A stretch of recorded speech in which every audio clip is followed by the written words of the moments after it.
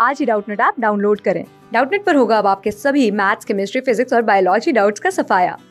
बस अपने क्वेश्चन की फ़ोटो खींचो, उसे क्रॉप करो और तुरंत वीडियो सोल्यूशन पाओ। Download now. Hello students let start the question question here is a specialise centre called respiratory ड्राइम centre is primarily responsible for the regulation of respiration it is located in तो यहाँ पे पूछा गया है कि एक जो स्पेशलाइज सेंटर है, जिसे हम रेस्पिरेटरी राइम सेंटर कहते हैं, वो रिस्पॉन्सिबल होता है रेस्पिरेशन की रेगुलेशन के लिए। और ये गिवन ऑप्शन में से किस पे लोकेटेड होगा?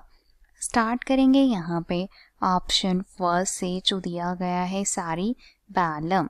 तो ये जो हमारा ऑप्शन है, वो यहाँ पे गलत होता है बिकॉज़ सारी बैलम जो है, ये कोऑर्डिनेट करता है वॉलंट्री मूवमेंट्स को। देखेंगे सेकेंड ऑप्शन सेकेंड ऑप्शन हमें यहाँ पे दिया गया है the lowest part of the brain तो ये जो हमारा ऑप्शन है, वो यहाँ पे बिल्कुल सही होता है।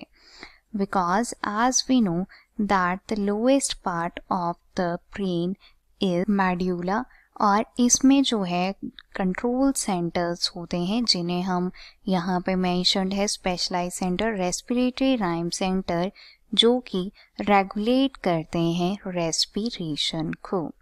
राइट आफ्टर दैट देखेंगे थर्ड ऑप्शन थर्ड ऑप्शन हमें यहाँ पे दिया गया है top portion of the brain stem right तो ये जो हमारा ऑप्शन है, वो भी यहाँ पे गलत होता है बिकॉज़ टॉप पोर्शन जो ब्रेन स्टेम का है, वो है पोन्स राइट right? और जो पोन्स है, ये इन्वॉल्व होता है in the hearing equilibrium taste eye movement facial expression facial sensation and posture right after that देखेंगे लास्ट ऑप्शन लास्ट ऑप्शन हमें यहाँ पे दिया गया है नन ऑफ़ दीज तो ये जो हमारा ऑप्शन है, वो यहाँ पे डायरेक्टली गलत है because as we discuss that the option second is the correct answer for this question right class six twelfth से लेके NEET I I T JEE mains और एडवांस के लेवल तक, दस मिलियन से ज़्यादा स्टूडेंट्स का भरोसा।